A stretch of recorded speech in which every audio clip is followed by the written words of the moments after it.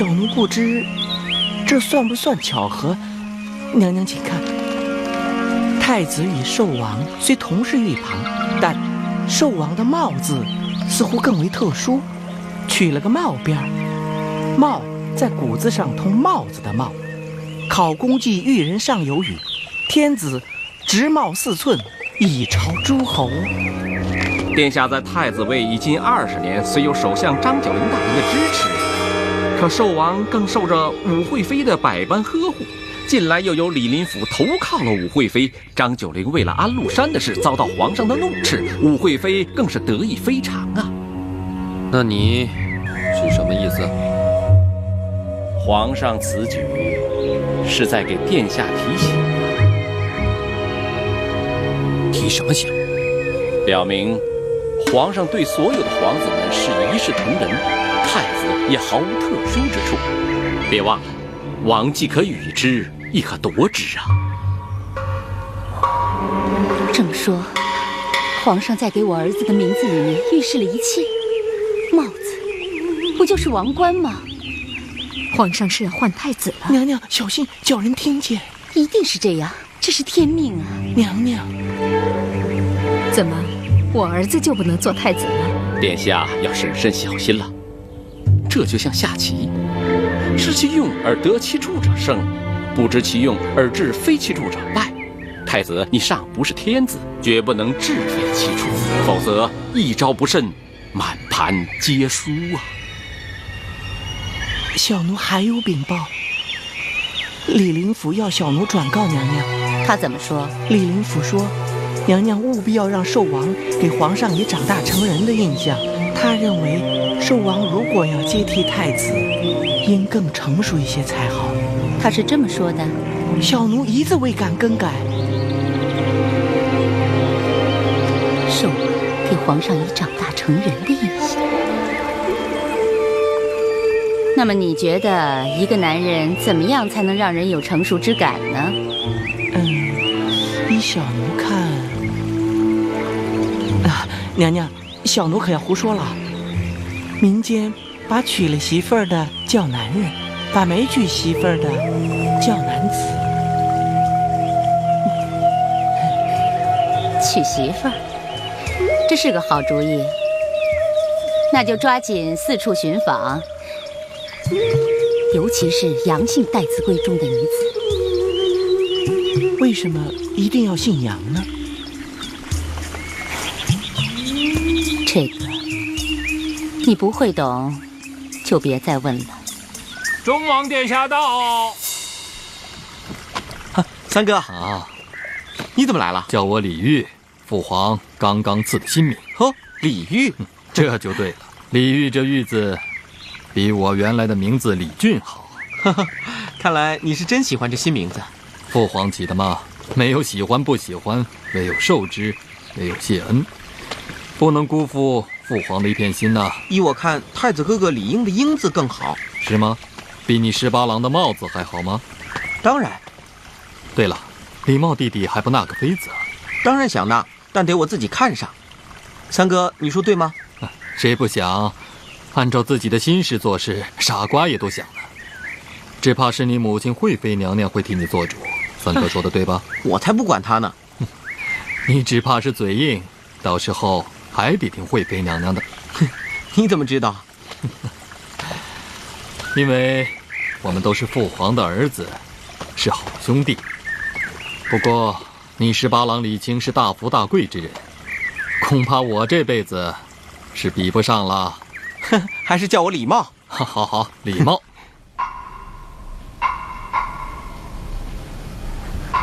茂儿都十九了，该选妃了。一转眼的功夫啊，朕准了。那皇上看中了哪家女子？嗯，得猫儿自己看中才好啊。朕看中有什么意思？三郎就没有一点圣誉吗？找个好人家吧，别的，做父亲的没有必要多管。那臣妾就替猫儿谢恩了。咱皇家的婚事，正是选妃门第是头一位的。咱大唐哪家的门第最显贵？自然是一里、二五、三阳了。嗯，这五姓嘛，就不提了。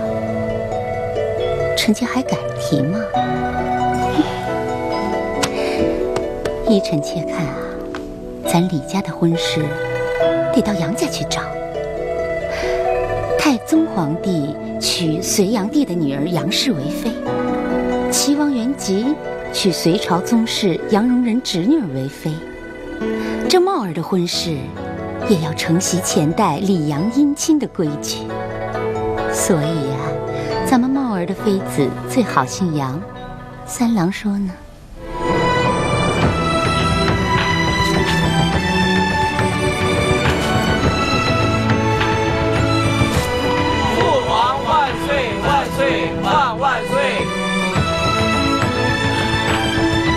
身吧，谢父王。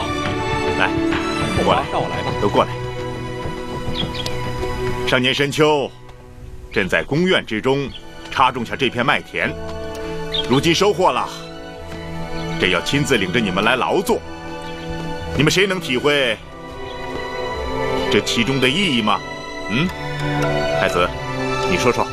父皇是想让孩儿明白稼穑之难。十八皇子，你说说看。也许，也许父皇是要将这些古物献给宗庙，所以，所以要我等亲自动手，以示对祖宗的敬意。还有呢？啊，三皇子，朕看你有话要说。孩儿以为，夫农乃天下大本，春秋中详细记录了麦禾之事，说明自古以来就明白农桑的重要。父皇。今日亲临农事，是要做天下的垂范，告诫我等切不可忘记国之大本。很好，是这么个简单道理。可是这样的简单道理，实行起来并不简单。朕近年来屡次让你们去巡检庄稼的收成，可你们有谁如实禀报了？不要以为朕会全相信你们的那些数字。朕所种的这块麦田，就是依照关中普通农户的标准，既不后世骄养，也不荒疏薄对。朕就是要观其自然收成，以了解天下真实的农事民情。为君之道，必须先心存百姓，国以人为本，人以衣食为本。所以，一定要学会了解农事民情，不了解可不得了。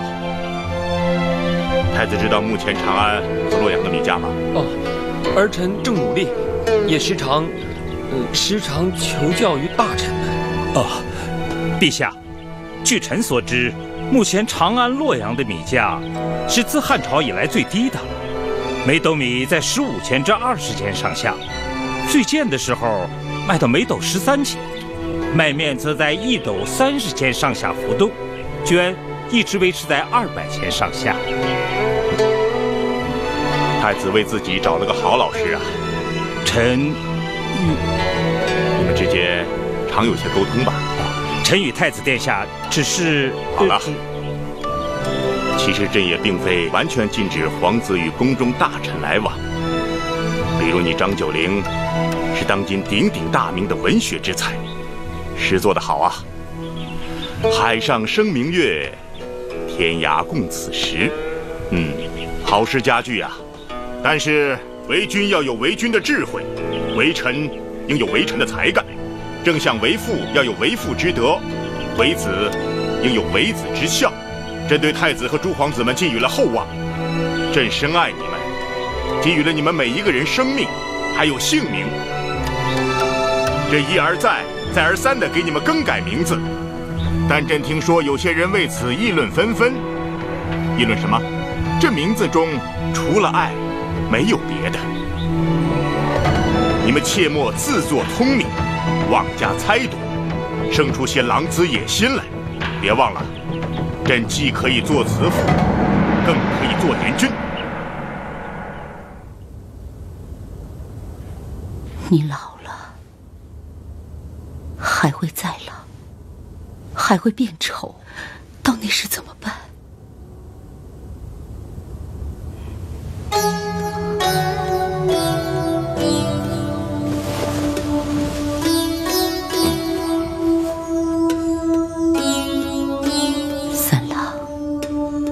臣妾陪你走了二十年，臣妾自信遵守诺言，从没有干涉过朝政，为三郎呕心沥血地调理着后宫。如今大唐昌盛，三郎不会抛弃臣妾吗？臣妾受宠二十年，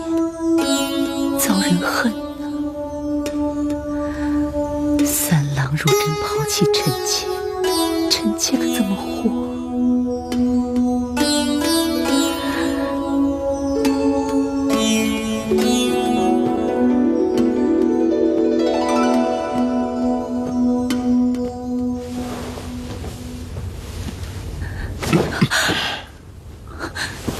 怎么一大早的，竟说些让朕听不懂的话呀？三郎，你都听见了。臣妾说错了吗？朕是为改名字教训儿子们，但是没有说你，你领袖后宫二十年，让朕能安心的处理朝政也是二十年。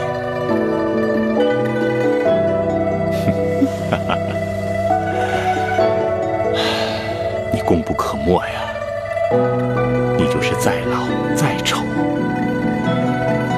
也是朕的爱妃。这是朕给你的承诺。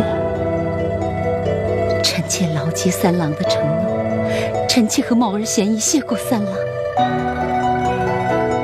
别什么事都和孩子们扯在一起。你和朕的事就是你和朕的事。不扯怎么行啊？还都指望着他们呢。好了，起床吧。朕今天还要阅兵呢。嗯，今天皇上检阅比武，你确实比我强多了。你也很棒，彭博，谢谢你的酒。哎，来，来。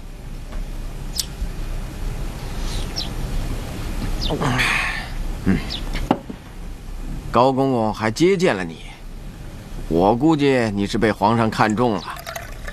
哎，如果进了皇宫，可别忘了兄弟们啊！啊，放心吧，你我都是兄弟，大家彼此就不要客气了。好，干，来，再干一杯。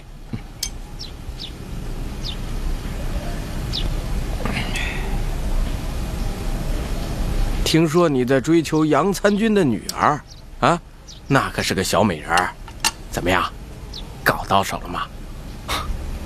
你怎么知道？谁告诉你？兄弟啊，你什么事儿能瞒得住我呀？哼！既然你都知道了，那我就告诉你，我喜欢他。可是，我现在还不知道他怎么想的，也不知道杨参军。肯不肯把女儿嫁给我？嗨，想那么多干嘛呀？夜长梦多，你小子可得抓紧了，晚了就成了别人的了。我把玉佩都送给他了，我也能感觉到他也喜欢我。可他为什么不理我呢？兄弟啊，那天晚上仙乐坊的一个丫头啊，非要把一个香囊交给都尉大人。他肯定是没弄明白，啊，这都尉是要分折冲和果毅的，我认定他说的都尉大人肯定不是我。哎呀，我这辈子没走过什么桃花运，哼，我就把他给扔了。什么？你把他扔到什么地方了？火盆里，烧了。兄弟啊，我没什么桃花运。不过我看你啊，也长不了，长不了。我没有的东西，也不会有。你，嗯，把你那一肚子坏水倒干净了。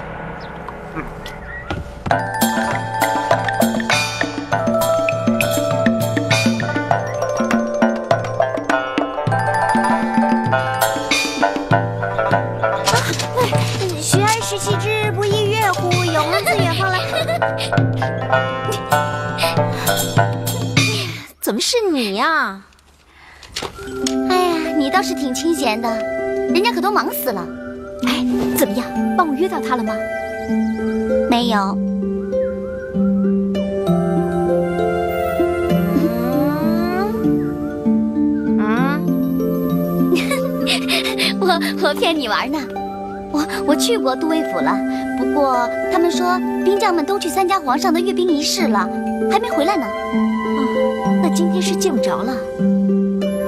阿蛮，快跟我说说，你那天去见皇上，皇上是怎么进的我们洛阳城？是不是真的很热闹？那当然了。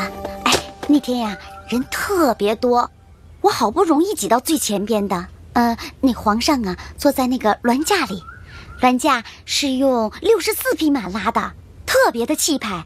皇上把车窗帘轻轻的拉开，然后向万民致意，像这样。嗯嗯嗯嗯嗯。那你见到皇上什么样子了吗？那当然了。什么呀？皇上啊，嗯，天庭饱满，地阔方圆，两耳垂纶，慈眉善目的。别瞎说，你根本就没看到。皇上是很威严的，你又没有见着皇上，你怎么知道的？我怎么不知道？我当然知道，我父亲就是管车马的，六十四匹马根本拉不了车，你吹牛都不会吹。哼，怎么就不能拉呢？小姐，彭都尉在门外要见你。啊，他来了！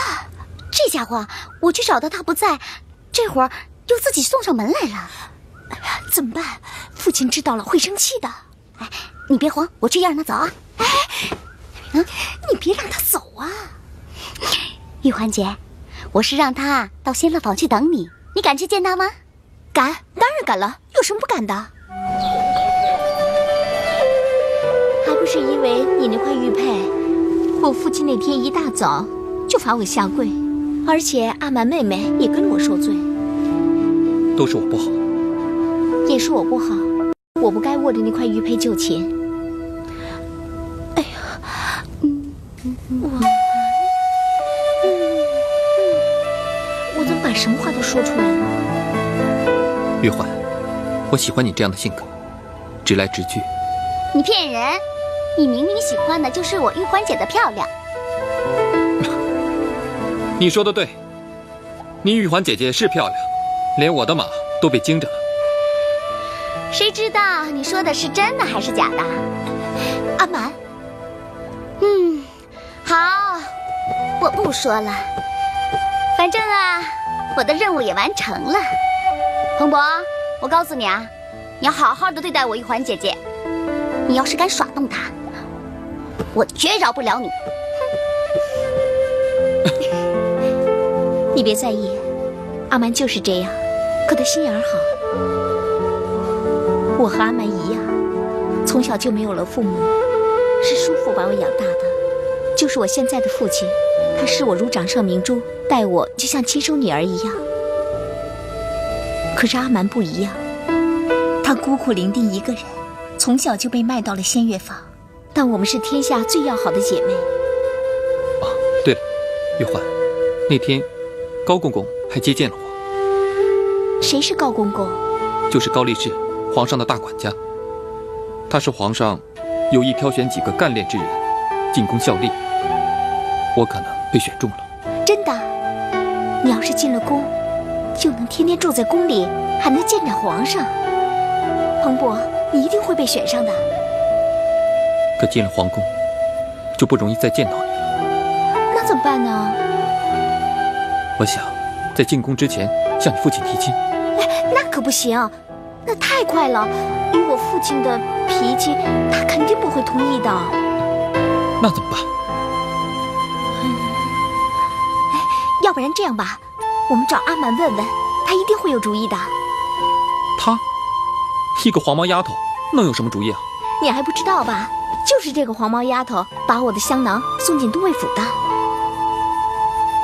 香囊，我都不敢提香囊，我不知道该怎么说。我真恨我自己。怎么了？我的香囊怎么了？昨天晚上我在练兵的时候，国义都尉收的香囊，他他把它给烧了。他把那个香囊给烧了。都怪那个谢阿蛮，他都弄不明白，都尉府里有两个都尉的。你也不能怪阿蛮，要是我的话，我也会弄不清的。娘娘。按你的吩咐，小奴在洛阳走访了城中半数以上的杨氏名门。小奴自以为合乎要求的，都让画工描绘成了影图，请娘娘过目。洛阳乃名都大城，定是人才济济，杨氏闺中的小姐也不在少数。小奴自当不辞劳苦，继续寻访。可是，单凭一己之力，毕竟有限。万一遴选不周详，漏掉了寿王真正的意中人，小奴可是担当不起啊。那依你的意思，咸宜公主也是皇上的心头肉啊。公主又到了待嫁之龄，不如先行操办公主的婚事，借公主的吉音变发请帖，这张网可就大了。届时，寿王肯定到场，还能亲自定夺，这手心手背都是肉，一举两得。娘娘。何乐而不为呢？你竟能屡屡说中我的心事，真不容易。公主的事我早就想好了，明日你就把长宁公主的儿子杨回叫来，让我的女儿面见。这件事就这么定了。哎，要不要和杨回通通气？不必了。我女儿咸宜公主的绣球，不管抛给谁。他敢不摊开双手去接吗？那就定了。还有什么事吗？有件陛下的家事，咸宜公主要出嫁了。啊，朕知道。陛下做出过皇家婚礼要从简的规定，可老奴想，咸宜公主毕竟不同于别的公主，尚且，惠妃娘娘也十分看重公主的婚礼。是啊。当初惠妃未能立后，这些年来，朕对她颇有些负疚之感。女人呐，都很看重名分，就随她的心愿吧。改改规矩，翻一翻，封赐咸宜公主一千户，婚礼可以弄得热闹一些。是，陛下。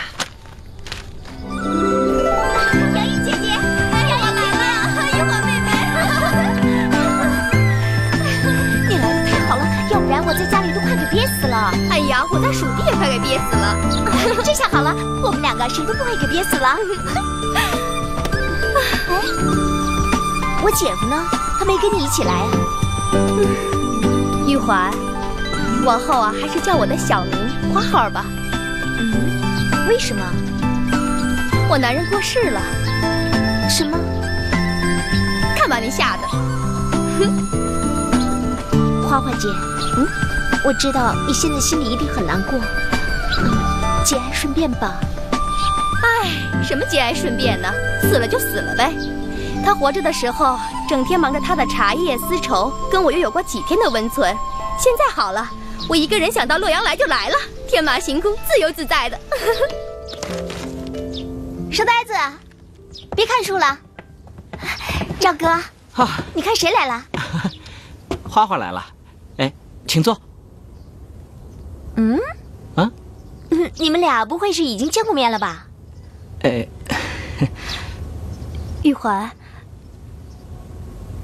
我们还是出去吧。朝哥他……哎，不不不，我不读了，咱们坐下聊吧。干嘛要坐着？站着就不能聊吗？哎，对了，玉环，叔父今天下午回来过。我父亲回来过。啊。完了完了，我父亲回来看我不在家，肯定要气死了。不，叔父不但没生气，反而很高兴呢。高兴啊！他看我偷跑出去了，还高兴。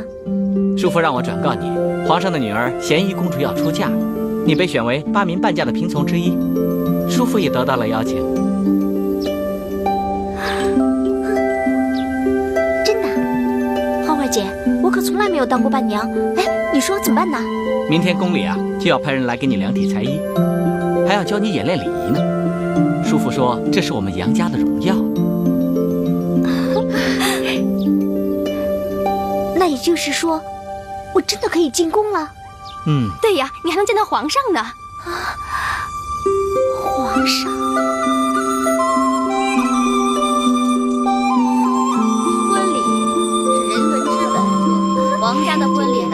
是朝廷的圣旨，这有严格的仪规。你们有幸被选做皇家新娘的女嫔从，一举手一投足都将代表皇家的威仪。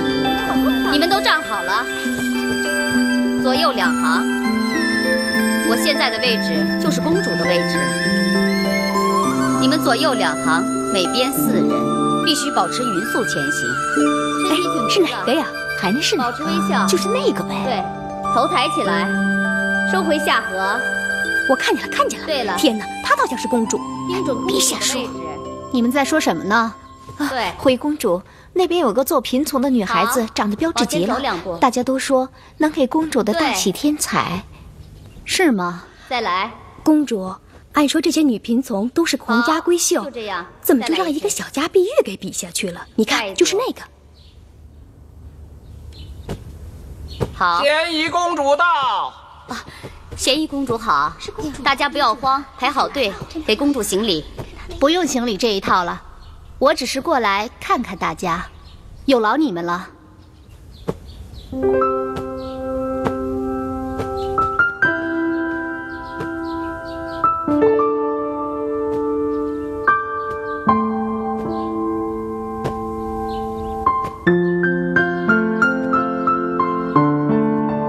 不用问，你就是那个人人称赞的女孩子，是姓杨吗？回公主的话，小女子是姓杨，名玉环。你是我特意请来的，如此看来，我请对了。谢公主。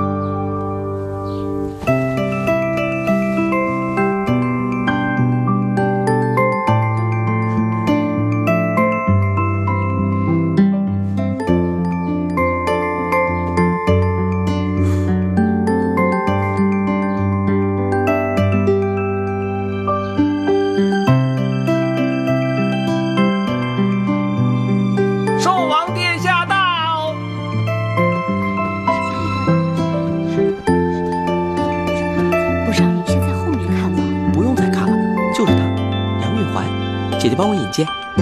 你呢？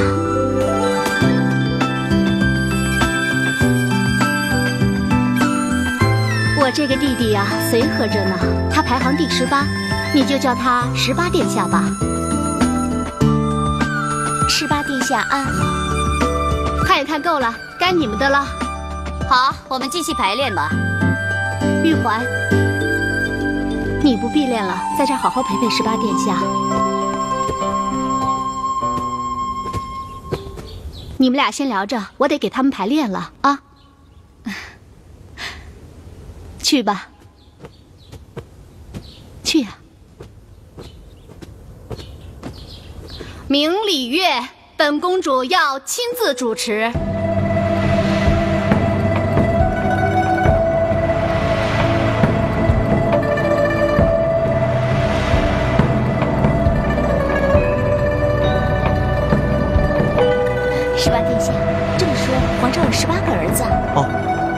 子女五十多人，兄弟中我排十八。这么多孩子啊！那皇上一个人有这么多孩子？哼父皇的嫔妃多吗？我不知道，你别生我的气啊！我才不会生气呢。前代帝王中有子女五十人者，不会太少吧？只是本朝开国以来，以我父王子系最繁。相传周文王有子女一百多人呢、真的？啊，没准我父王会追上他呢。好玩。玉环妹妹很开朗，人就应该开朗嘛。你呢？你有几个孩子啊？还未纳妃。哦，玉环有所不知，十八殿下，请别见怪。哎，玉环妹妹，你想问什么就问什么，想说什么就说什么，我喜欢这样。嗯我不能再跟你说了，我得赶快去参加演练，要不然到时候那天我该出丑了。那你去吧。啊，我去了。母亲，母亲，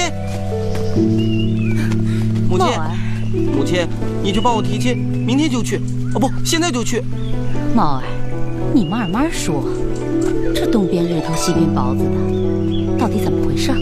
母亲，我非他不娶，你早早去提亲，免得她嫁了别人。茂儿，你一个快二十的大男人，怎么说话行事还像个小孩子？连个事情的原委都说不清楚。孩儿知错了，是这么回事儿。按母亲的旨意，孩儿今日去观看姐姐婚礼的演练，其中有一个女贫从，天生丽质，聪颖率真。她姓什么？哪家的女子？姓杨，叫玉环，是河南府侍曹参军杨玄角之女，前朝名臣国子监杨汪的五世孙女。哦，还算是个名门之后。武文琛，小奴在。以我的名义先去杨家提亲，再去查查杨玄角的背景。小奴这就去准备。谢谢母亲。茂儿，母亲从来没有见过你如此倾心一个人。嗯，你纳了妃子后，就得干点大事业。记住，她将来也只是你一个妃子，而绝不是你堂堂皇子生活的全部。嗯。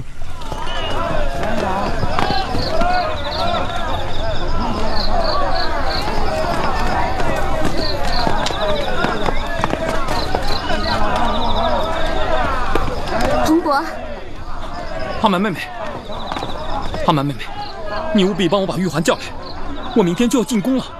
都尉大人，我可不敢再去了。玉环姐姐的父亲看见我就头疼。再说了，你看现在这天都这么晚了，玉环姐姐肯定出不来的。那，那你到底有主意没有啊？干嘛要我拿主意啊？他说的，他说以后无论发生什么事，阿门都会有主意的。我这会儿啊得去跳舞了，客人们都在等着我呢。啊，哎哎，阿蛮妹妹，阿蛮姐姐，你就帮我这个忙吧，我怕以后再也见不到她了。那你告诉我，你是不是特别喜欢我玉环姐姐？那还用说吗？当然要说的。好，那我现在就说，你帮我转告他，就说我彭博，生是他的人，死是他的鬼，这辈子非他不娶。好，像个都尉的样子。那你就进宫，好好的干。我会把你的话都转告给他的。玉环姐姐也是个重情之人，她一定会等着你的。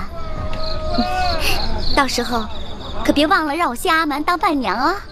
阿蛮妹妹的大恩，容彭伯他日再报。哎天哪，你快起来！你一个都尉大人，跟我行什么礼呀？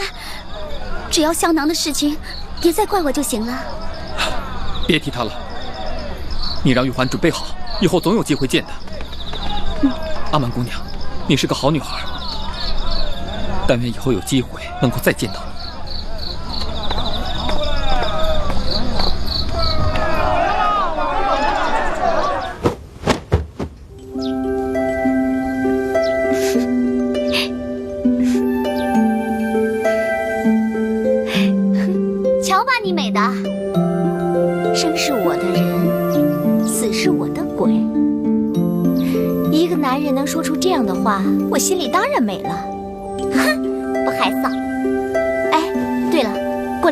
就要进宫当嫔从了，我一定要想办法见到他。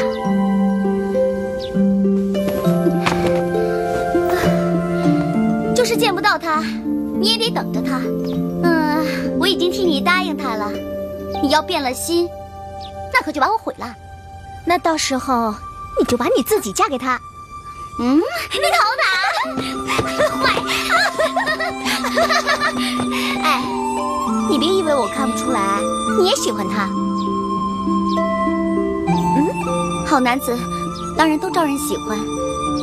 可是我知道他喜欢的是你，我的命不好。谁说的？天底下的好男人不止彭博一个，阿曼，我真心希望你能找到一个比彭博更好的男人。嗯，但愿吧。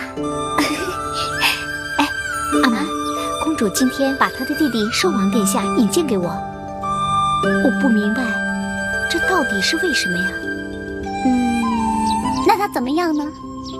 嗯，怎么样呢？嗯嗯，白白净净，人挺和善的。也很英俊吧？那比你的彭博如何呢？干嘛要跟他比？我现在心里只有彭博。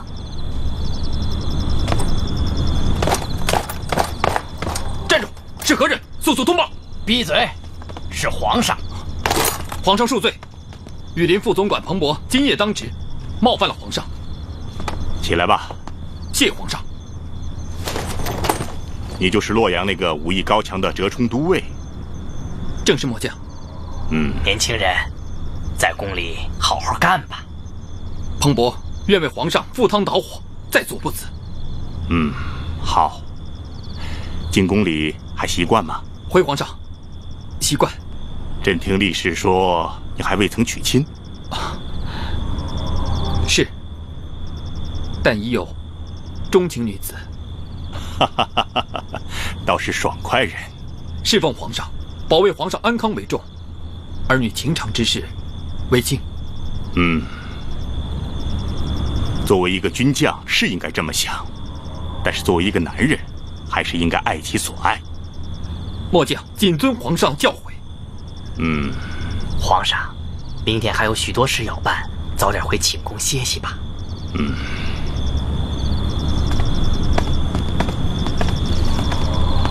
什么事这么着急呀？哈哈，玉环，有件大喜事得告诉你。什么喜事儿？让我猜猜。啊，是父亲升官了。哎呦，比这要大。嗯，是花花姐要改嫁了。你这差到哪儿去？坐坐坐，坐下说啊。那我可猜不着了。啊，你也长大了，玉环。嗯。女大要当嫁，以后你成为人妻，可不比在家里做闺女。说话做事一定要讲些规矩，可万不能给咱们杨家丢脸呐！父亲，你说什么呢？说了半天，我怎么一句也不懂啊？什么女大当嫁的？哎，父亲，我也正有话要跟你说呢。我，今天呢？皇宫里的武公公专程到府衙来找我，以惠妃娘娘的名义，为寿王殿下向我正式提亲，要娶你做寿王妃呀。什么？寿王殿下是当今皇上和惠妃娘娘最宠爱的皇子。武公公讲，这也是圣上的意思。哎呀，这就是天大的事啊！咱们可得稳稳当当的。可是我只见过寿王一面，我怎么可能嫁给他呢？更何况，我从来也没打算要嫁给他呀。哎呀，现在不是说你想嫁给谁，而是寿王他想娶谁。我不管他要娶谁，反正我不会嫁给他。寿王殿下总不会要逼婚吧？普天之下，莫非王土；率土之滨，莫非王臣。既然天子有此意，那就是王命不可违呀。父亲，我记得小时候你就对玉环说过：“了吗？玉环，我知道你的心事。就是没有惠妃娘娘提亲的事，我也绝不会让你嫁给一个当兵的。他不是当兵的，他现在已经是皇家的羽林军了。我说不行就不行，没什么道理可讲。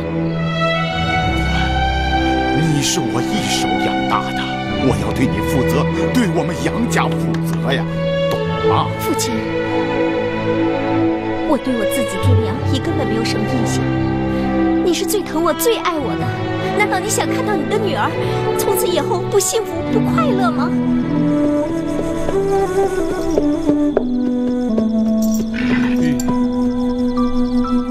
哎呀，我的傻孩子，你再好好想想。寿王殿下一旦得知你和彭博有情谊，而且你又拒婚，那彭博就完了。你，想害死他呀？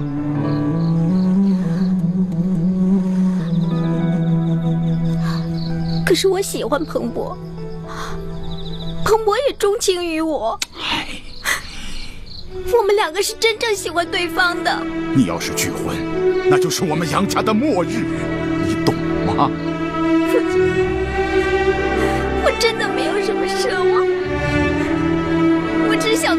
己想做的事。要想做自己喜欢做的事，全天下只有一个人能做到，那就是皇上。孩子，你是个明事理的人，你再好好想想。作为一个军将，是应该这么想，但是作为一个男人，还是应该爱其所爱。